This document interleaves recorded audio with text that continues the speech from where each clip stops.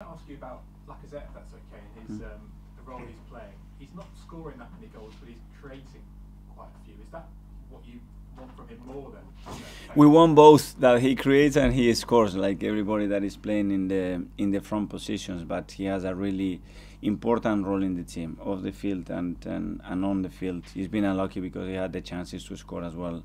Um, some goals in the last um, few weeks, and he needs to continue to that to generate those chances for his teammates um, to be in front of goals in the positions that we ask him to be, and, and the goals will come.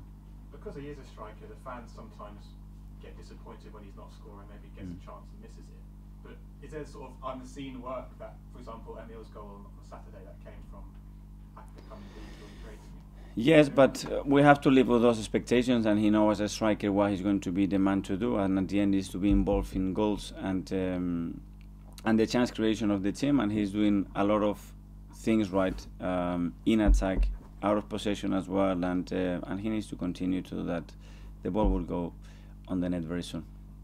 You mentioned on Saturday that Emile could one day play as a number nine if he needed it, and Mm. obviously the fans as well have been thinking about Gabby Martinelli playing up there. Which of them do you think would be most suited to that role if he needed to?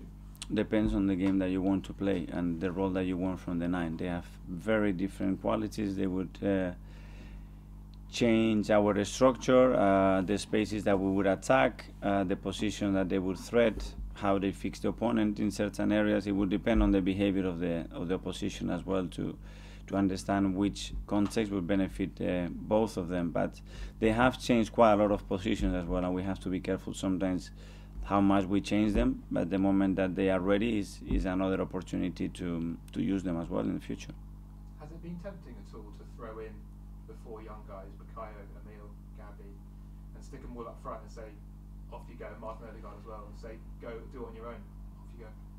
Well, they have played uh, together. I think uh, we can. Emile played as a left attacking midfielder as well, uh, which is another position that uh, that he can play. So I am tempted, yes, because you want to play, and when you see players playing and training the way they do, like many others, you want to throw them on the pitch. Unfortunately, eleven is the limit.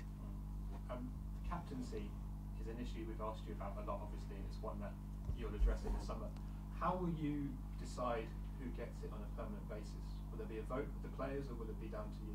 That will be through a process in the summer when we have time, when we have no competition, and we will do it the right way, the way I want to do it.